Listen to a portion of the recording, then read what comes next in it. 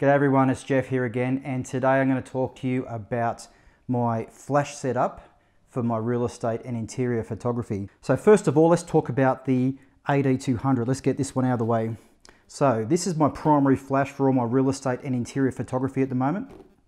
And I really, really like this flash. I'll be honest with you, I think this is a really great flash, really good value for money. This thing has just lasted for me like nothing else. Now, I'll get the bad points out of the way. There really is only one thing I don't like about this. Actually, there's two things, sorry. There's two things I don't like about this flash. Now, the first one is the color of the bare bulb.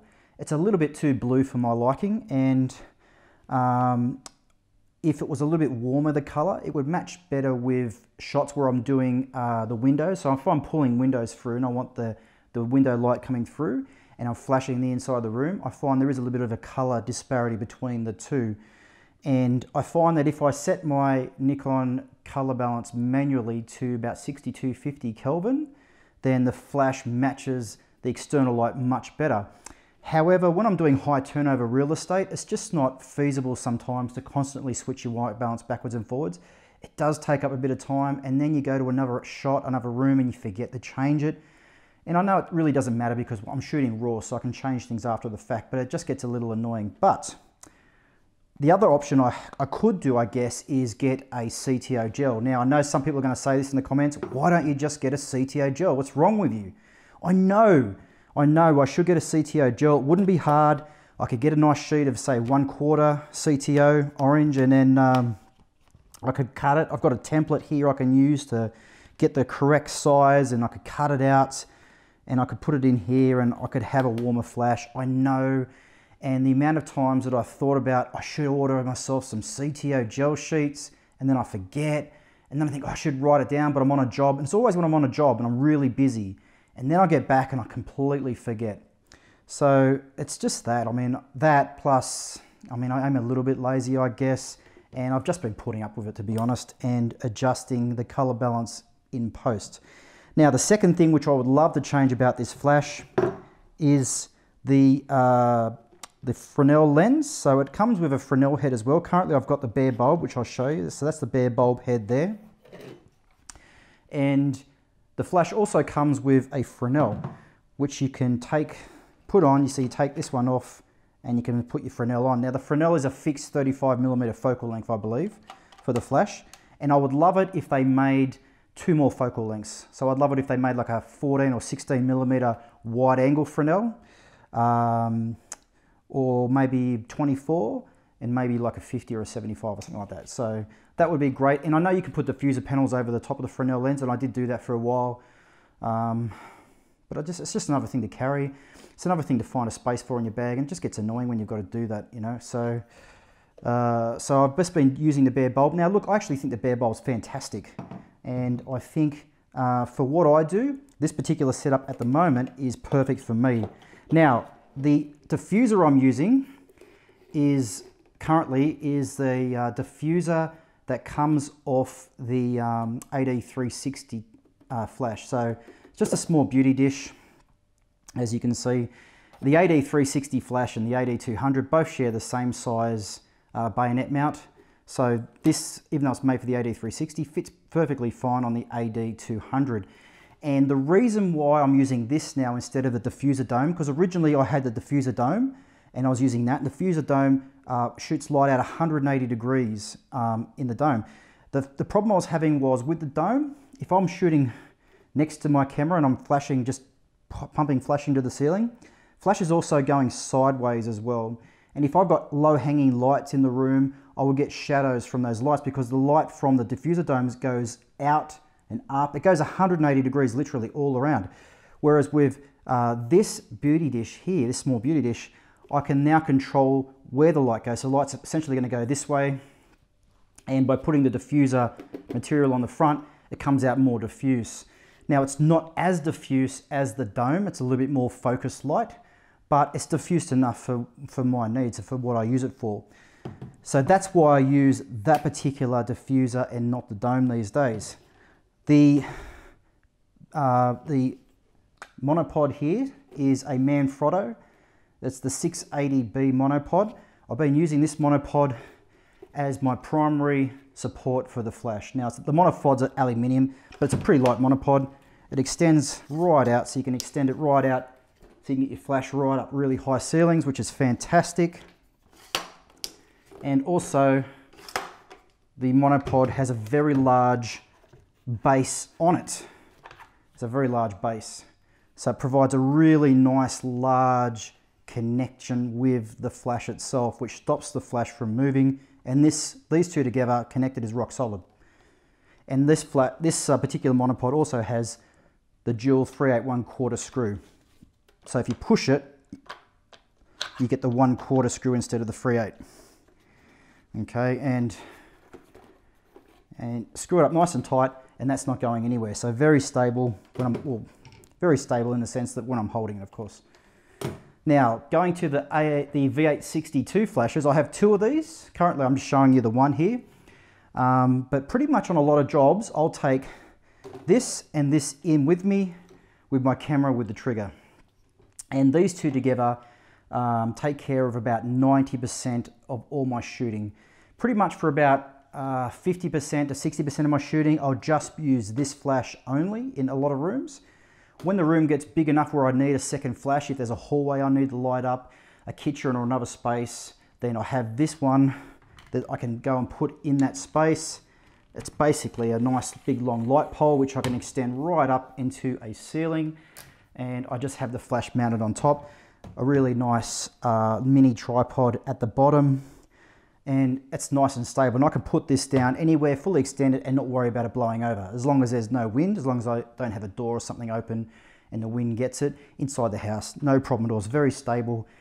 And between these two, like I said, it's probably about 90%. Now I have a third flash, another V862, and there are some occasions where I need a third flash. And there's a video I did about four or five videos ago where I was shooting a living room where I was looking through a hallway and then there was another room at the front and then in front of that was the outside. And in that shot, I used this flash, this one in the hallway and another V862 in the room at the front. So three flashes is pretty much all I ever use. If I get more than that, then it's just not worth it. I'm doing high turnover kind of real estate most of the time. So um, it's a kind of a balance between getting the shot in camera and taking that bit of extra time to do that and then getting into and out of the job as quickly as possible. Okay, so going to the trigger now, I'm just using the, uh, I think it's the original Godox X1 trigger. And um, I mean, it does the job. It fires the flashes. I don't really like it. And I don't use the channels. I don't use the groups or the channels on this at all. Now, I probably should. Sometimes I'll have my camera back in the corner of a room and I'll have this flash with me and I'm flashing and I might have this one set up over the other side of another room or in a hallway and it's it'd be good to be able to adjust this. But what I've found is that it doesn't always work. If I change the, um, the channel and I change that to say channel B and I change channel B's output, it just doesn't work sometimes. I don't know why it doesn't work.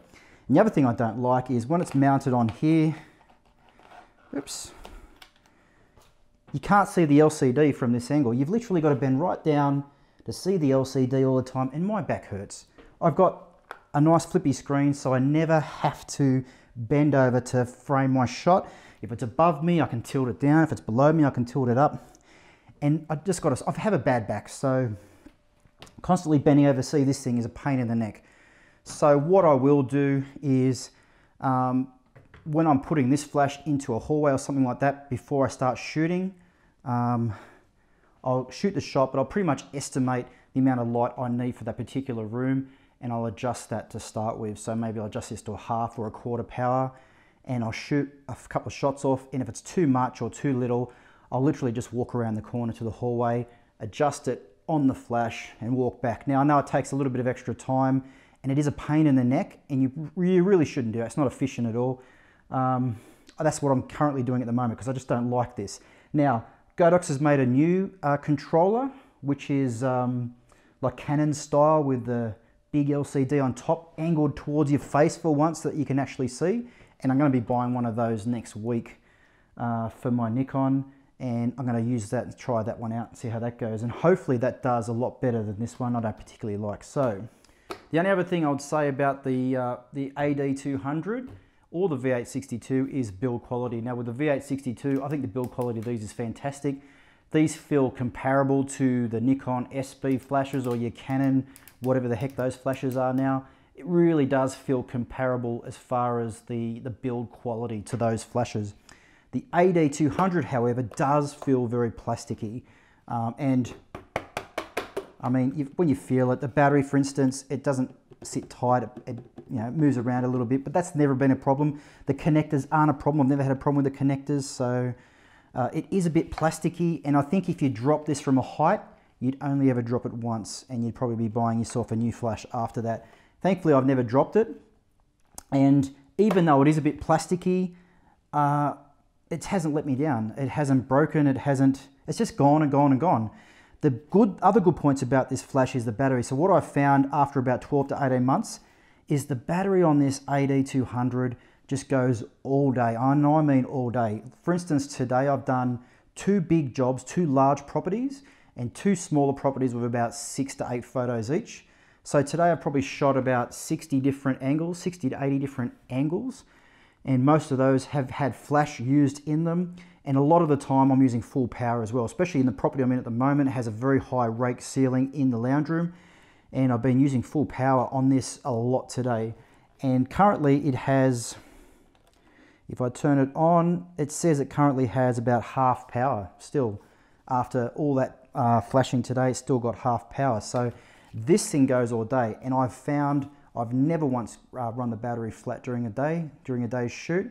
I've actually run out of daylight before I've run out of battery power on this. So I've never had to buy a spare battery. And that's probably one of the best things about it. It keeps it compact. You don't have to have extra batteries to charge. And it just goes and goes and goes and goes all day long. The other things I really like about this, I really like the adjustment dial on the back. You know, I think it's very intuitive. It's just, you just turn it. Like I'll have this set on manual. So I'm always shooting manual. I'm never shooting TTL or anything like that. I'm always shooting manual and controlling my flash output manually on the flash itself. And it's so easy just to control the output by turning this dial. It's very, very simple, very basic. And the same for uh, the V862s, they're set on manual and I just control the flash output, again, just using that dial. And that pretty much sums it up. That's my current uh, setup for shooting real estate and interior photography. This is my current flash setup. Um, I have no uh, plans to change this at the moment. I think the, the AD200 is pretty much the perfect flash for me uh, and the V862s, my new ones now. I haven't had a problem with them, they haven't let me down. There's no melting anymore. The original pair I had would literally melt these Fresnels and the um, diffuser panel started melting down. And I use these flashes a lot I've never had a problem with these. So obviously whatever the problem was with the first flashes, uh, they've fixed that and they don't have this problem anymore.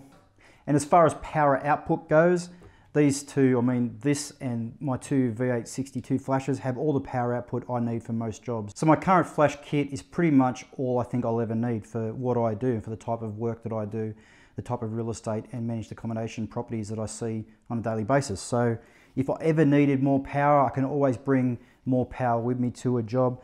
But so far, I've never really needed much more power than this. The only time I really have issues is when I have really large rake ceilings that um, have timber beams and don't have any reflective surfaces to bounce light off.